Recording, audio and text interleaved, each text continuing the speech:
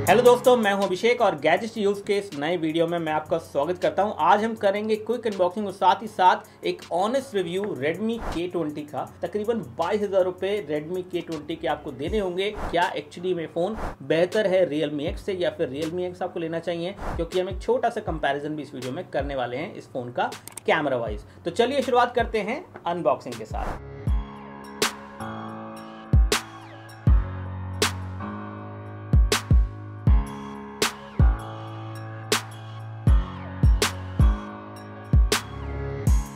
तो चलिए शुरुआत करते हैं इस रिव्यू को और सबसे पहले बात करेंगे इस फ़ोन के लुक एंड फील के बारे में। सबसे कमाल की बात यह है कि इस फ़ोन और Redmi K20 Pro में दोनों में कोई भी कॉम्प्रोमाइज Xiaomi ने नहीं किया है। बिल्ड क्वालिटी में डिज़ाइन में लुक एंड फील इस फ़ोन की भी काफ़ी अट्रैक्टिव है। बिल्कुल एग्जैक्टली सेम है। ट्रिपल कैमरा यहाँ भी दिए गए हैं। हालाँकि थोड़ा बहुत फ़र्क है, वो आगे बताएँगे। लुक एंड फील लेकिन सेम है। इसमें भी आपको गोरेला ग्लास फाइव बैक में मिलता है ग्लास बैक मिलता है। प्रीमियम फिनिशिंग और बिल्ड क्वालिटी Xiaomi ने दी है इस फ़ोन में, क्योंकि ना सिर्फ़ आपको गोरेला ग्लास 5 फ्रंट और बैक में मिलता है। आपको एक मेटलिक फ्रेम भी मिलता है जो कि एल्यूमिनियम 6000 सीरीज़ है, जो कि आईफोन में भी इस तरह का एल्यूमिनियम यूज़ हो चुका है। कनेक्टिविटी की बात करें तो एक सबसे बड़ा धोखा या कह सकते हैं एक तरह का कॉम्प्रोमाइज जो कि किया जाएगा इस फ़ोन के साथ, जो लोग इस फ़ोन का सिक्सटी फोर लेंगे सिक्सटी वाले वर्जन में आपको एफटी कार्ड का स्लॉट नहीं मिलता है। तो अगर आपने फ़ोन ले लिया और सिक्सटी वर्जन लिया तो उस केस में आपको स्टोरेज की प्रॉब्लम फ्यूचर में पक्का आ सकती है। डिस्प्ले की बात करूँ तो 6.3 इंच का काफ़ी वाइब्रेंट कलरफुल डिस्प्ले मिलता है। काफ़ी बड़ा डिस्प्ले है और व्यूइंग एंगल्स डिस्प्ले के बहुत अच्छे हैं। ये एफ़ प्लस डिस्प्ले है एमलेट डिस्प्ले है और साथ ही साथ इसका जो कलर का ब्राइटनेस है डिस्प्ले का जो ब्राइटनेस है, वो भी काफ़ी ज़्यादा है। सिक्स 50 प्लस का लक्स आपको मिल जाता है, जो कि काफ़ी ब्राइट इस डिस्प्ले को बना देता है। यहाँ पे इस डिस्प्ले पे एचडीआर का सपोर्ट दिया गया है तो अगर आप YouTube पे वीडियोस देख रहे हैं और एचडीआर वीडियो देखना चाहते हैं तो वो यहाँ पे आपको ऑप्शन मिल जाता है। बात करते हैं प्रोसेसर की तो प्रोसेसर के मामले में ये एक इकलौता फ़ोन है इंडिया में पहला, जिसमें आपको स्नैपड्रैगन 730 मिल रहा है, जो कि एक नया प्रोसेसर और ऐसा कहा है शामी ने भी क्वालकम ने भी कि ये उनका थर्ड फास्टेस्ट प्रोसेसर है, अब तक का जितने भी लॉन्च हुए हैं। लेकिन गेमिंग में ग्राफिक्स में ज़्यादा कुछ फ़र्क देखने को नहीं मिल रहा है, क्योंकि यहाँ पे अगर हम बात करें पबजी की तो HD ग्राफिक सेटिंग्स के साथ हाई फ्रेम रेट में आप पबजी खेल सकते हैं, अल्ट्रा में नहीं खेल सकते हैं और एक्सट्रीम ग्राफिक्स पे भी फ़िलहाल आप नहीं खेल सकते हैं। लेकिन हाँ day to day usage multitasking में आप कंपेयर करते हैं रियलमी एक्स के साथ। अगर रियलमी एक्स के एंटी टू बेंचमार्क स्कोर की बात करें तो one lakh fifty six thousand का स्कोर है, जबकि इस फ़ोन का एंटी टू बेंचमार्क दो लाख दस हज़ार के आसपास आता है। तो ऐसे में एक इम्प्रूव प्रोसेसर है डेफिनेटली बेहतर प्रोसेसर है, अगर आप इसे स्नैपड्रैगन 710 से कंपेयर करते हैं तो। कैमरा की बात करें तो यहाँ पे भी आपको ट्रिपल कैमरा मिल जाते हैं जैसे के ट्वेंटी प्रो में मिलते हैं, लेकिन एक फ़र्क है, यहाँ पे एक नया सेंसर है, लेकिन ओवरऑल कैमरा क्लैरिटी में हमने यहाँ पे कुछ शॉट्स लिए हैं, जो कि आप देख सकते हैं कि वो काफ़ी सिमिलर दिखते हैं, चाहे आप के ट्वेंटी प्रो से शूट करें या फिर इस फ़ोन से शूट करें तो कैमरा क्लैरिटी काफ़ी कुछ सिमिलर ही है बहुत ही हल्का सा फ़र्क है जो कि आपको महसूस नहीं होगा अनलेस कि आप बिल्कुल क्लोजअप वाला शॉट लें, जैसे कि यहाँ पे हमने एक शॉट लिया है, जिसमें स्पाइडरमैन को हमने कैप्चर किया है और यहाँ पे सेम जगह पे टैप करके फोकस किया है। उसके बाद भी जब आप सेंटर में स्पाइडरमैन की दोनों आँखों के बीच में जूम इन करेंगे तो आप देख सकते हैं कि ज़्यादा क्लैरिटी आपको मिल रही है Redmi K20 Pro की फ़ोटो में कंपेयर टू Redmi K20 की फ़ोटो में। कैमरा मोड्स में आपको सारे ऑप्शन मिल जाते हैं, जैसे किसी की स्लो मोशन मोड आपको 48 मेगापिक्सल का कैमरा फ़ोटो भी आप ले सकते हैं। हालाँकि सेंसर डिफरेंट है, लेकिन ओवरऑल पिक्चर क्लैरिटी वैसी ही मिल जाती है। वीडियो स्टेबलाइजेशन की बात करें तो यहाँ पे हमने एक वीडियो सैंपल बनाया है, जो कि आप देख सकते हैं, जिससे आपको आइडिया लगेगा इस फ़ोन के वीडियो स्टेबलाइजेशन की। यहाँ पे इलेक्ट्रॉनिक इमेज स्टेबलाइजेशन मिलता है, आपको ऑप्टिकल इमेज स्टेबलाइजेशन इस फ़ोन में नहीं मिलता है। 960 fps का स्लो मोशन आप बना सकते हैं सैंपल आपके सामने है। अब अच्छी बात यह है कि यहाँ पे भी आपको पॉपअप सेल्फी कैमरा मिल रहा है, यहाँ पे आपको सफायर ग्लास भी मिल जाता है, जिससे कैमरा प्रोटेक्टेड रहता है। अगर मैं बात करूँ सेल्फी की तो सेल्फी यहाँ पे जो मैंने कैप्चर की है इस फ़ोन से, वो मैं आपको दिखा देता हूँ। कुछ इस तरह की क्लैरिटी आपको मिल जाती है।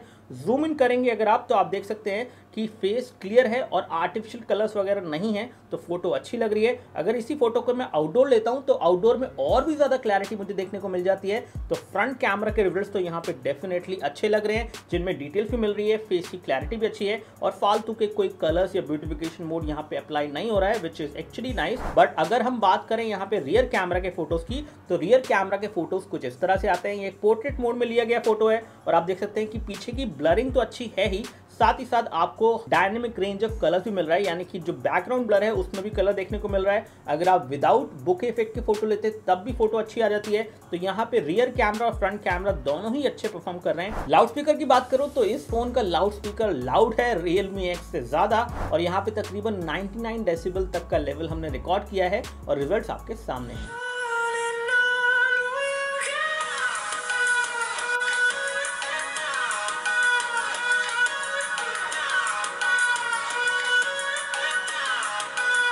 अब एक जो चीज़ इस फ़ोन को एक तरह से प्रीमियम बनाने के बाद अनप्रीमियम कर देती है, वो है यहाँ का यू अलग अलग तरह पे आपको जो बेसिकली ब्लॉटवेयर देखने को मिलता है, वो चीज़ मुझे सही नहीं लगी है। अगेन मैं इतना कहूँगा यहाँ पे कि शामी को अपनी अप्रोच चेंज करने की थोड़ी सी ज़रूरत है। बिल्ड क्वालिटी प्रीमियम है डिस्प्ले प्रीमियम है तो थोड़ा सा ओएस भी और प्रीमियम लगना चाहिए compare to other Xiaomi phone ऐसा नहीं लगना चाहिए कि इस फ़ोन में भी वही दस हज़ार रुपए फ़ोन वाला ओएस है और यहाँ पे इस ओएस को और अच्छे से ऑप्टिमाइज ऑप्टिमाइज करके ज़्यादा बेहतर ऑप्शन देने चाहिए, ताकि एड वगैरह से पूरी तरह से छुटकारा पाया जा सके। बात करें बैटरी की तो चार हज़ार की बैटरी है, और आपको मैंने बता ही दिया है कि फास्ट चार्जिंग के थ्रू आप इसको एक घंटे के अंदर भी चार्ज कर सकते हैं। अदरवाइज़ डिफ़ॉल्ट चार्जर से डेढ़ घंटे में आप चार्ज कर सकते हैं। एक दिन का बैटरी बैकअप आपको आराम से मिल जाता है, बाकी आपकी यूसेज के ऊपर। अब दो चीज़ें यहाँ मैं बताना चाहूँगा। एक है फेस अनलॉक और दूसरा है फिंगरप्रिंट स्कैनर फिंगरप्रिंट स्कैनर यहाँ पे इन डिस्प्ले में है, बिल्कुल फास्ट है रिस्पॉन्सिव है, फटाफट फ़ोन को अनलॉक कर देता है। लेकिन जो फेस अनलॉक की स्पीड है, वो थोड़ी सी स्लो है। आप खुद देख सकते हैं यहाँ पे जैसे ही मैंने कैमरा लॉन्च किया और अब मैं फ्रंट कैमरा में स्विच करूँगा तो जैसे ही मैं स्विच करूँगा तो थोड़ा सा टाइम लगता है इस पॉपअप सेल्फी कैमरा को ऊपर आने में। और थोड़ा सा टाइम लगता है इसको नीचे जाने में। तो ऐसे ही फेस अनलॉक के टाइम पे थोड़ा सा टाइम लगता है इसको ऊपर आने में, अगर आप फेस अनलॉक के थ्रू फ़ोन को अनलॉक कर रहे हैं। अदरवाइज़ फिंगरप्रिंट सेंसर फास्ट है और आप फटाफट उसके थ्रू भी अनलॉक कर सकते हैं। अब यहाँ पे आपको एक क्विक कैमरा कंपेरिजन दे देते हैं इस फ़ोन का, यानी कि Redmi K20 Pro का, Realme X के साथ। तो कुछ इस तरह से यहाँ पे पिक्चर्स आती हैं। मैं कह सकता हूँ कि दोनों के डिवाइसेस में जो कैमरा है, वो अच्छी क्लैरिटी वाला कैमरा है और अच्छी फ़ोटोज़ कैप्चर कर लेता है। ओवरऑल अगर मैं बात करूँ कलर्स के बारे में तो कलर्स ज़्यादा नेचुरल यहाँ पे Redmi K20 के दिख रहे हैं कंपेयर टू Realme X, जो कि थोड़े से ओवर सैचुरेटेड कलर्स देता है, मुझे ऐसा लगता है। साथ साथ यहाँ पे एक एक्शन फिगर है, आप देख सकते हैं कि इस फ़ोटो में दोनों ही डिवाइसेस ने इस एक्शन फिगर को अच्छे से कैप्चर किया है। और अगर मैं कहूँ यहाँ पे मैं अपना फेवरेट सिलेक्ट करूँ तो यहाँ पे Realme X की फ़ोटो मुझे ज़्यादा अच्छी लग रही है कंपेयर टू के की फ़ोटो बाकी आप लोग बताइए कि आपको कौन सी फ़ोटो ज़्यादा पसंद है। तो दोस्तों, ये था हमारा क्विक अनबॉक्सिंग साथ ही साथ एक क्विक रिव्यू Redmi K20 का। अब अगर मैं बात करूँ इस फ़ोन को सजेस्ट करने की तो ये फ़ोन डेफिनेटली मैं आपको रिकमेंड करता हूँ, आप इसको ले सकते हैं। लेकिन एक ही बात है कि भाई इसमें एस कार्ड स्लॉट क्यों नहीं दिया, वो भी सिक्सटी वाले वर्जन में।